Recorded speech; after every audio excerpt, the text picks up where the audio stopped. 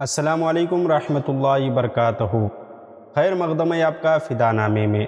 آج کی ویڈیو میں ہم شیخ المشائق امام الاولیاء قدوۃ الصلحاء سند العرفہ مجاہد اسلام شہید اسلام حضرت شیخ نجم الدین کبرا رحمہ اللہ علیہ کا ذکر خیر کر رہے ہیں۔ اس امید کے ساتھ کہ آپ کو یہ ویڈیو پسند آئے تو لائک اور شیئر ضرور کریں۔ ویڈیو پسند آنے کی صورت میں ڈس لائک کریں۔ اور ہمارے چینل کو سبسکرائب کریں۔ حضرت شیخ نجم الدین کبرا رحمہ اللہ علیہ اپنے وقت کے سب سے بڑے شیخ طریقت و رہبر شریعت تھے۔ بڑے اولیاء کرام آپ کی بارگاہ میں حاضر ہوتے تھے۔ آپ کی کرامات اور خوارق سارے عالم میں مشہور ہیں۔ اہل اسلام آپ کو ولی تراش کے لقب سے یاد کرتے ہیں۔ آپ عالم وجد میں کسی پر نگاہ ڈالتے تو اسے مرتبہ ولایت تک پہنچا دیتے ہیں۔ ایک دن ایک سوداگر آپ کی خانقاہ پر حاضر ہوا۔ تو آپ اس وقت بہت خوش تھے۔ ایک نگاہ کیمیا اثر ڈالی تو سوداگر کو رتبہ ولایت عطا فرما دیا۔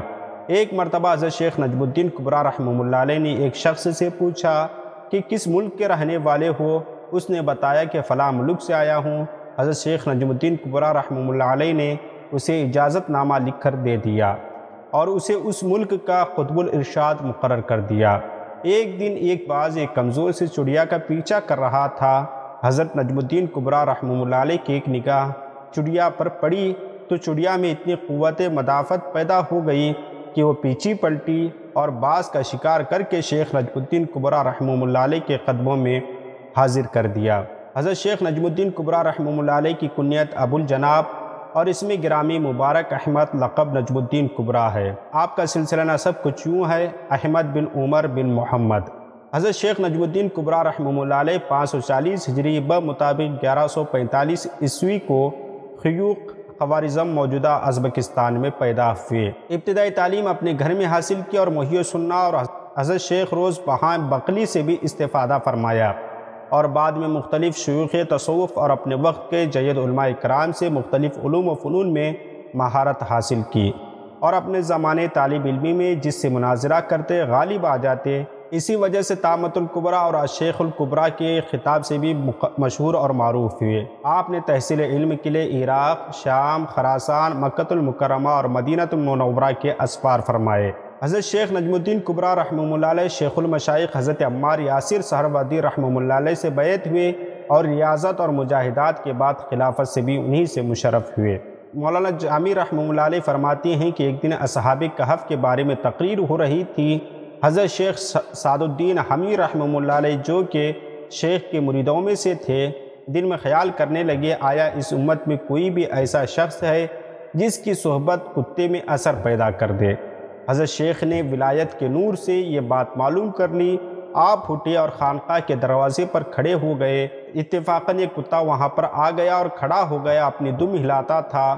شیخ کی نظریں اس پر پڑی، اس وقت اس پر مہربانی ہو گئی۔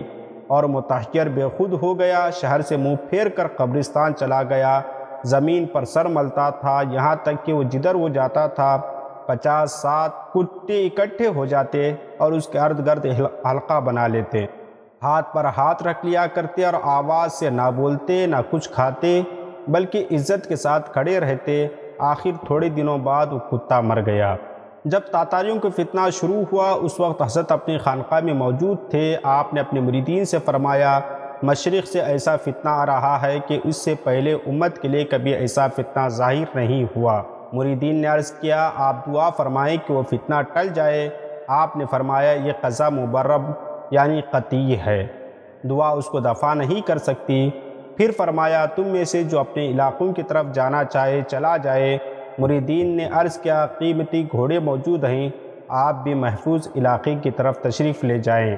حضرت شیخ نجم الدین کبرہ رحمہ اللہ علیہ نے فرمایا، ہمارے لیے ایک ہی راستہ ہے اور وہ جہاد فی سبیل اللہ اور شہادت ہے۔ جب تاتاری کفار شہر میں داخل ہوئے، شیخ نے مریدوں کو بلایا اور کہا قوم بسم اللہ، نقاتل فی سبیل اللہ، اپنے گھر میں آیا اور اپنا خرقہ پہنا۔ کمر کو مضبوط باندھ لیا اور اس خرقے کا اگلا حصہ کھلا تھا، تاتاریوں سے مقابلہ کرتے ہوئے شہید ہو گئے۔ حضرت شیخ نجم الدین کبرہ رحمہ اللہ علیہ نے اپنے خلفاء کی ایسی تربیت فرمائی کہ وہ منگول قوم جو اسلام دشمنی میں پیش پیش تھی اور اسلام کو مٹانے نکلی تھی، تاتاریوں کے فتنے کو کون نہیں جانتا، جنہوں نے لاکھوں مسلمانوں کو بڑی بے دردی سے شہید کیا، مسجدوں، مدرسوں اور لائبریریوں کو آگ لگا دی، لیکن آپ کے خلفاء یعنی شیخ نجم الدین قبرہ رحمہ اللہ علیہ کے خلفاء نے انہی منگولوں میں تبلیغ دین کا ایسا کام کیا کہ وہ گروہ در گروہ مسلمان ہوتے چلے گئے اور اسلام کو دنیا سے ختم کرنے والے اسلام کے محافظ بن گئے۔ اللہ اکبر، تبھی تو شاعری مشرق علامہ اقبال نے کہا تھا ہے ایا فتن تاتار کے افسانے سے پاس پا مل گئے کعبے کو صنم خانے سے۔ حضرت شیخ نجم الدین قبرہ رحمہ اللہ علیہ دس جماعت الاول چھ سو اٹھارہ ہجری میں تاتاری لشکر سے مقابلہ کرتے ہوئے شہید ہو گئے۔ اس وقت حضرت شیخ نجم الدین قبرہ رحمہ اللہ علیہ کی عمر ساٹھ سال سے زیادہ تھی۔ شہادت کے وقت آپ کے ہاتھ میں ایک تاتاری سپاہی کے بال آ گئے تھے۔ آپ نے انہیں اتنی زور سے پکڑا ہوا تھا کہ شہادت کے بعد بھی دس کافر آپ کے ہاتھ سے بال نہ چھڑا سکے۔ بالآخر وہ بال کانٹنے پڑے۔